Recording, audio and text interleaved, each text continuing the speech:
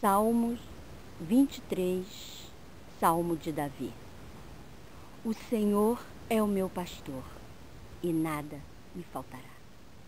Deitar-me faz em vez dos pastos. Guia-me mansamente às águas tranquilas.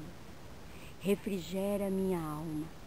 Guia-me pela vereda da justiça por amor do teu nome ainda que eu andasse pelo vale da sombra da morte, não temeria mal algum, porque tu estás comigo.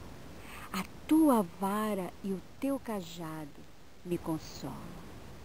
Preparas uma mesa perante mim, na presença dos meus inimigos. Unge a minha cabeça com óleo e o meu cálice transborda. Certamente que a bondade e a misericórdia me seguirão todos os dias da minha vida e habitarei na casa do Senhor por longos dias. Amém.